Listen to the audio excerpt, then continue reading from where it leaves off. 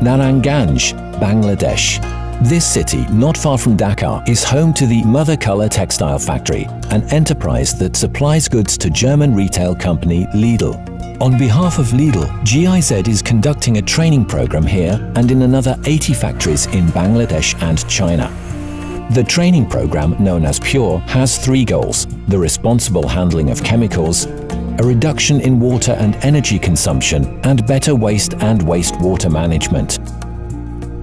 When we started the project in the factories, we actually went to the factories and found out some non-compliances regarding the chemical management, poor handling of chemicals and regarding the environment management as well.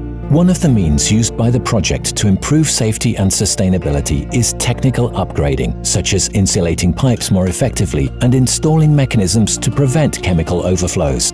It is also vital to ensure that knowledge is shared.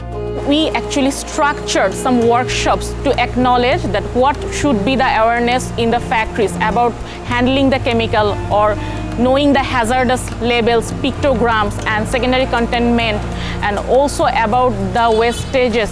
In the factories taking part in the PURE program, around 67,000 employees are already benefiting from the new conditions. And as the impacts on the environment decrease, the situation of the people living around the factories also improves. There were many positive changes after this project.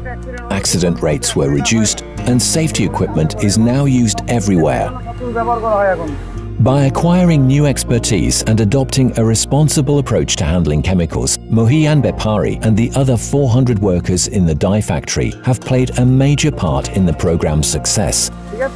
We have received hands-on training on chemical handling and dosing, on how to reduce steam consumption and water consumption, and how to increase production. The program is free of charge for the companies that take part, Factory owner Mansour Ahmed has invested 80,000 euros in technical upgrading, an investment he is sure will pay off. I am getting the safety workplace, I am getting the safe management, I am also getting that uh, waste management knowledge so that I can sustain my business uh, very good way. The entrepreneur is convinced that the changes will make Mother Color more attractive to new customers. He is aware that buyers from the West are paying increasing attention to sustainability. At the same time, the program is bringing about a shift in attitudes at the participating companies that will also have a sustainable impact, lasting long after the program has ended. That project uh, open our eyes okay if we go in systematically if we go with the uh, pure project uh, those they instruct us uh, I, we think the factory will be benefited in future